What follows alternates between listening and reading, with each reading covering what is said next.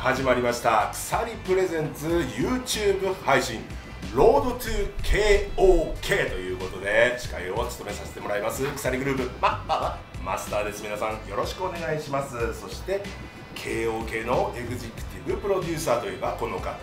カン AK ガミ。よろしくお願いします。お願いします。さあ続いて KOK 協力大会。出場枠。この大会が入ってきました破天 MC バトル。破天 MC バトルはこう、まあ、会場の雰囲気だったりステージだったり、まあ、すごいだいぶ独特な雰囲気の中、こう我々だったらマスターのところをこう渡部さんがやってたりとか、まあ、いろんなこうなんかこう違いもあったりするんですけど、まあ、だいぶ注目はしてますね。なんかステージとかもね、うん。いろいろ工夫面されていて、はい、そして今日のスペシャルゲスト早速呼び込みたいと思いますアンジャッシュ渡部さんの登場ですよろしくお願いします。すみません。よよろしくお願いしますよろしくお願いしますすみません、お邪魔します。えー、お笑い芸人アンジャッシュ渡部と申します。よろしくお願いします。よろしくお願いしますすみません、よろしくお願いします。ほぼね、菅さんはもう初めましてですし、はい初めまして初めての鎖カフェ。あの完全に私飲まれてます今。あ本当ですか？ありがとうございます。いやありがとうございます本当に。すみません。でなんかあれを一回ニアミスというかねあのえっとフリースタイル男女なんかスペシャルの時にちらりと、ああそうですか。なんかあの全然覚えてないじゃないですか？なんかあのあのなんかリ監督決めてなんかリあーのはいはいはい。みたいやな時に、はい。多分母さん審査員でいらっしゃってはい。それ以来だと思うんですけど、よろしくよろしくお願いします、はい。改めまして。お願いします。何かお飲み物あじゃああのはい。あのいただきます。じゃあハイボール。すはいいませんありがとうございかます。しこまりました。いやはい。はい。MC バトルのはい。特徴とか特徴。あの先ほどちらっとお話しいただいたと思うんですけれどもまず、えっと、い一番大きいのはバトルフィールドっていうのがあるんですね、はい。それも、えっとえーランダムに決まって例えば、えー雷鳴フィールドといってなんか雷がビカビカ鳴ってるあのエフェクトがあったり雪原フィールドって言ってなんか雪山の中であったりなんかそのフィールドがあって、まあ、フィールドを生かした戦い方をする、えー MC がより有利になるような作りといいますか。だからまあ映像のエフェクトがあるっていうのがはい一番大きいかもしれないですね。はい。ろんなこうなんつうんだろうアイデアによって多分もっとよりヒップホップっぽいステージを作ったりもできたりとか、なんかこうこれからどんどん面白くできそうな、なんかそういう印象を見ましたね。なんとなくお客さんもこうフィールドをいじった時に上がるような湧くようになんとなく育ってきてる感じもあってまあ独自の色になっていけばいいかなっていう気がしますうね。んねはい火がボーってなってるだけでもね、うんすごかったし、お客さんを見ててもだいぶ迫力ありそうですうん、もんね、ありそう。そうですね。が特徴と言え言えるんじゃないでしょうか。はい。いただきます。すみません。すみません、はいよろしくお願いしますよろしくお願いします。すみません。お願いします。お願いします。破天の一番のこの間やってみて、なんか気になったそれこそ、いやなんかこれだからもう二人にもちょっと相談というかなんかあれなんですけどちょっとちょっとなんかね進歩が早すぎるというか破点1.0って一発目はね2022の12月なんですよ。破点2.0がもういきなり豊洲ピットとかでやらせてもらっちゃうんですよね。これだ大丈夫ですかね？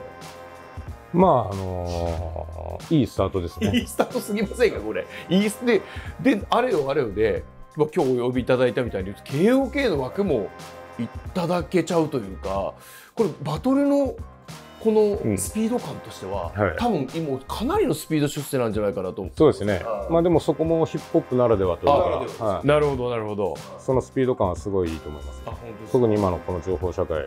はい、すごいいいと思います。あよかったです。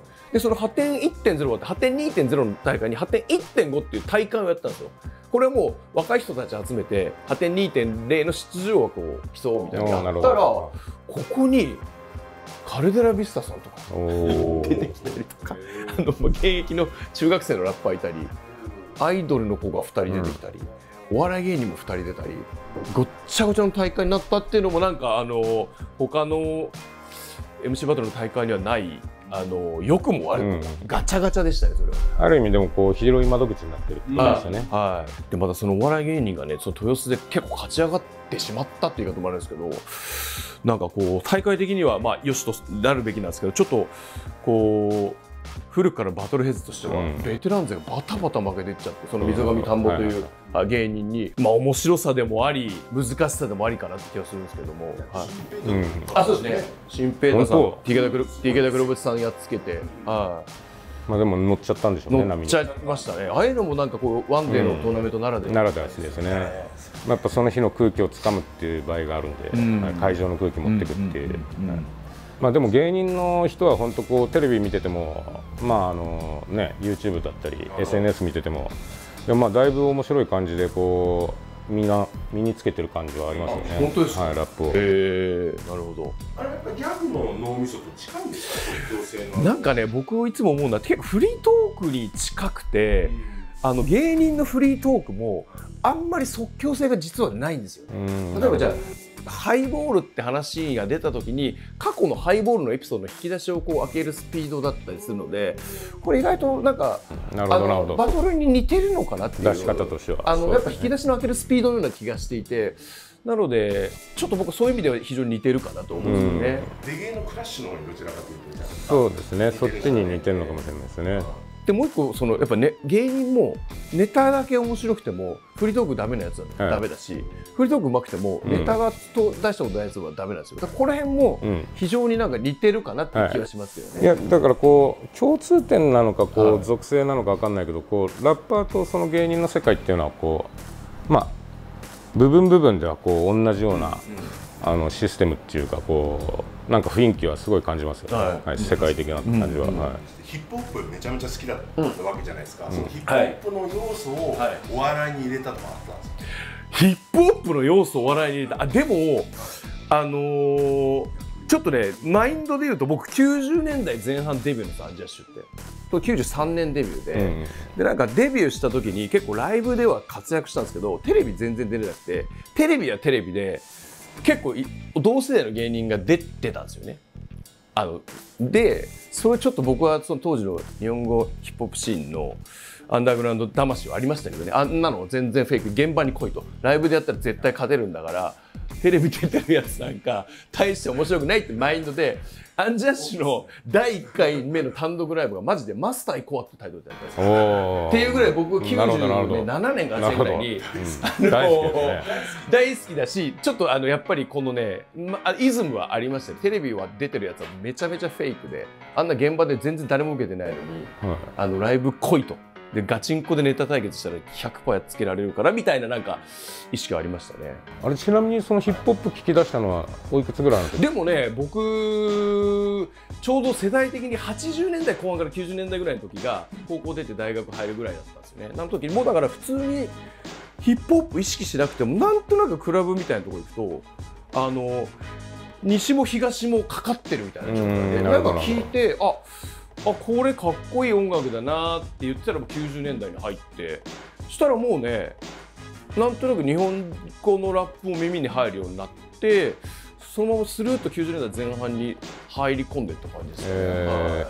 当時のヘッズは誰が好きとかじゃなくもう全部買ってましたよね。全部買うっていうかあの当時はね僕は、うん。あの渋谷のね HMV があったんですよ、はい。あのセンター街の奥に。そこはもうね10枚かけて10枚ぐらいのコーナーがあって、これ全員ヘッズは全種類持ってるみたいあの当時やっぱ日本語ラップぶっちゃけもう全部買えるはい。ほどのアーティストしかいなかったぐらいの時期ですよね、そうですね。まだ、はい。はい。買おうと思えばもう全部多分買えるっていう、はい。はい。でライブ行ってもどこも大体同じ顔みたいな、うん。見てる客がもう、はい。は来てる客さんも。来てる。はい。はい。はいでねありますよね。当時あのシスコは、えっと、ちょっと怖かったんです僕。うん。渋谷のシスコ。なるほど。すっごい不良がいるな、まあ、今考えると大した悪い人はいなかったと思うんですけど僕らが見て怖かったんで僕らねあのアルタ新宿アルタのシスコ、はいはいはいはいあそこすごい平和だったじゃないですか、うんうん。であの在庫もめっちゃあったんですよね。じゃあこう結構イベントも遊び行ったりとか。行ってましたね。もうだから大体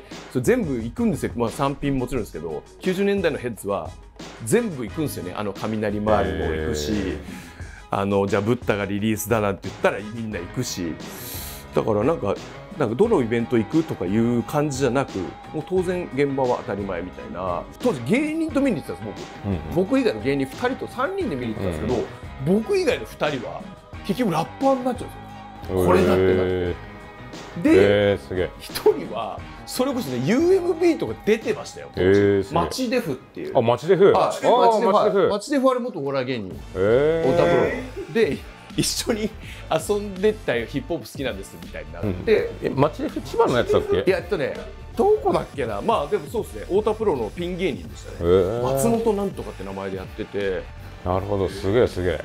そうなんですよ、でもう一人があの2つってやつで今あの若地区若地区のユッティがはい。元コンビだったんですけど、うん。そのユッティの相方だったやつもと3人でしょっちゅう見に行ったんですこれもこれで僕ちょっともう芸人より音楽になりましたって言って、そっちに行っちゃうぐらいなるほどなるほどはいへ僕だけなんとかお笑い踏みと踏みとどまったみたいな。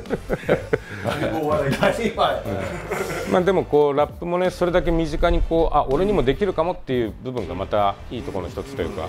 その時代を経て逆に今の時代で気になってるラッパー今ねいやもう最近は誰かな？あでもねあの最近わーって久しぶりにバトルから音源聞いたのはボンベロ君とかですねはいはいはいはいボンベロ。かっこいい。なんかちょっとすちょっとすごいなって。うんすごいですよね。はいなんかやっぱりスキルフルだし言ってるな内容もすごく面白いし、なんか。うんもう本当最近はラップがみんなうまいですからね。ううまいっていうかなんかちょっとすごいですよね。か関西から見てもやっぱそうですか？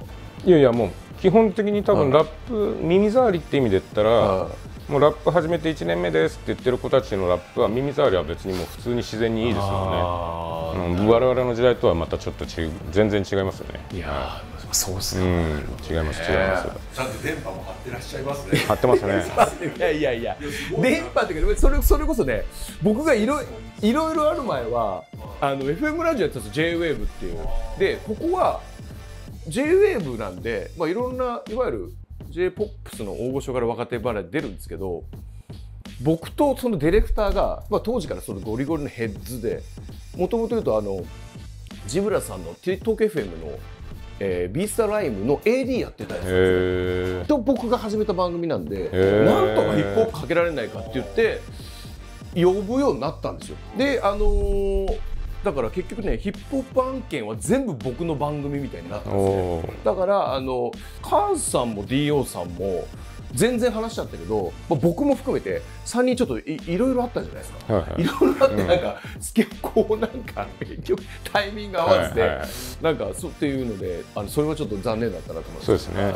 まあでもこういろいろあるのもヒップホップですかね 確か僕いろいろないとここ座ってないですよきっとねそうですね。多分ハテムシバトルの司会をオファーも来てないでしょうけど来ても多分ねスケジュール的に受けられなかったですし、うんそうですよね。はえでもこうラップをこう自分でもちょっとリリック書いたりこう若い時にこうちょっとお前らやんなら俺もちょっとじゃあ一緒にやろうかなみたいな。いやーさすがに僕がもういやとてもじゃないっていう感じとうーんなんかなかったですねそれはね。はでもあの我々あの鎖のこのチャンネルで、えっと、今までにあのそれこそ炎上ボーイズという企画で、あの大炎上されてる世間騒がせてる方々を、い。はい。あのラップでこう、まあ、説明する人もいれば、はい。あのいやいやこう違うんだよとかこうやって盛り上がろう頑張ろうっていうはい。はい。とか、あのダメ絶対とか、、はい。ろいろやってまた反省したりとかっていう,、はい。こうチャンネルがあるんですけど、はまあ、そういう中であのぜひあの僕と DO がサポートして、はい、炎上ボーイズ企画もできるんで大丈夫ですか？はい、炎上ボーイズでなんかはい。僕最近思うんですけどいろいろあった人同士マイナスかけるマイナスがあんまプラスにならないような気がして。あーなるほど。これがこうプラスにできるのが、やっぱこう音楽に乗せるっていう。ヒップホップ、はい。プラス音楽に乗ってるっていう時点で、はい。だから僕がこの間その TKO の木下さんとはようやく初絡みしたんですけど、全く化学反応生まないという。か、あーなるほどなるほど。でもマイナスかけるマイナスダメだプラスなんないなっていうなんかやっぱ不祥事同士はねなんか何も生まないってことちょっと分かって。ちょっとちょっとなんかはい。お願いします、はい。上手に。上手にえじゃあでじゃあそうなんですね。ソナーズさんとかあそうです。あのやっぱ不祥事ない人なんで。はいありがとうございます。ぜひぜひあの、はい機会ありましたらはい、よろしくお願いします。はい。予想まではあれかもしれないんですけど、うんなんかこういう MC が出てってこう毛を毛荒らしてほしいとかーこうせっかくいただいて貴重な枠なので本当に活躍して実力のある人が出て活躍してほしいっていう思いとせっかく派遣がいただいたんだからまあ変な話他のバトルでは見ないようなうんうんうん。オリジナリティのある人はいはいはいが出るってもうどう両方ありますね両方なんか面白そうだなでもこう他の大会と比べるとその多分こう無名の人だったり、若い子にもチャンスがある大会の印象なんで、はい。まあ、そういう意味では僕たちもこう結構そこは結構大事にしてるところじゃないですか。なるほどはいなるほど。やっぱこうねより若いやつらより才能あるやつらを発掘するかっていうのもやっぱこう続けていく上では必要なことなんで、これちなみに破天枠のラッパーが初戦であうんボロ負けしたとしたら次の枠への影響ってあります？ありますね。じゃあダメじゃん。じゃあダメじゃんチャレンジ枠。じゃあダメだ。ガチガチにガチガチに強い人をじゃあ仕込まないとダメですよ。そんなことないです。もうやっぱ大会としてもしっかりしてる大会で、はい。あのこれだけこう短期間でもこう認知されて盛り上がってるんで、まあそういう大会としてしっかりしてるところとは協力大会でやっていきたいんですけどね。わかりました、だからちょっとなるべく破天の色が出るような MC が選出されればなと思ってます、はい。もしかしたらお笑い芸人かもしれない、ああね夢ありますよね。はい。ねそんな破天を代表するアンジャッシュ渡部さんでした。ありがとうございました、はい。ありがとうございますすいませんお邪魔しました。ありがとうございました。ありがとうございました